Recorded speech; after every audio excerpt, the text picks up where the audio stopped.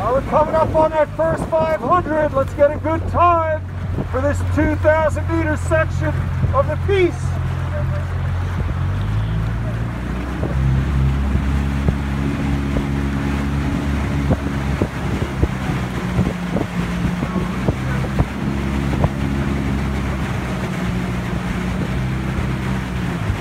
Let's stay long now. Let's be sharp at the catch. Let's be vertical at the catch.